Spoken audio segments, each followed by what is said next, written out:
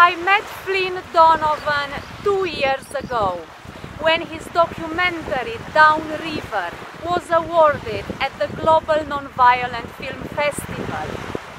Today, Flynn is making a motion picture with a beautiful title, Sea Lilies.